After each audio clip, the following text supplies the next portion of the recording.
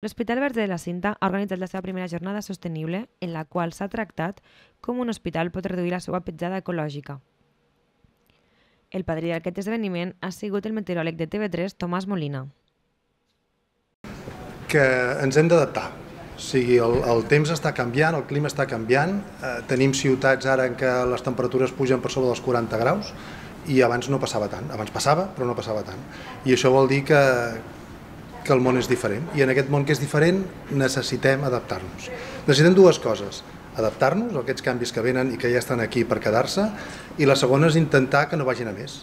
Perquè una cosa és que arribem 40 o algun lloc 42, 43 aquí a la Ribera d'Ebre però no volem arribar als 45 i el, la salut eh, té molta feina a fer també amb això, amb reduir les emissions, amb reduir els residus, amb, eh, tots plegats hem de fer una feina, les dues coses, de veure aquests canvis que estan passant i veure com ens hi adaptem i d'intentar que aquests canvis no vagin a més.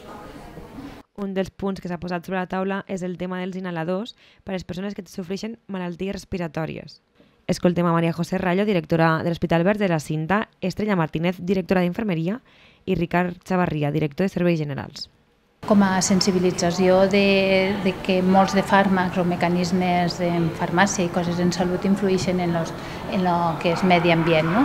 Tot és un tema que a tots ens importa perquè la realitat que tenim del canvi climàtic, la sequera i totes aquestes coses, evidentment, mm, fan que intentéssim des del nostre centre fer una petita aportació en tot el que poguéssim. No? Per això també tenim a la Comissió Mediambiental, que també és, ella també és membre, no? i treballem diferents iniciatives per intentar aportar el nostre granet de sorra en tot aquest projecte de medi ambient i sostenibilitat.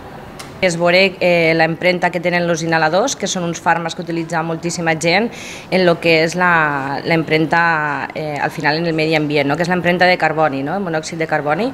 Se'ns va estar explicant per part del laboratori no? que han fet diversos estudis no? i la quantitat de carboni eh, utilitzat per als inhaladors, que com sabeu són tot eh, gent que tenen doncs, malalties respiratòries, eh, per tant són utilitzats d'una forma eh, molt, molt alta com aquesta podem fer per disminuir aquesta empremta de carboni. Vale? Per tant, avui sortiran diverses propostes per tal que des del punt de vista sanitari poguéssim disminuir l'empremta de carboni.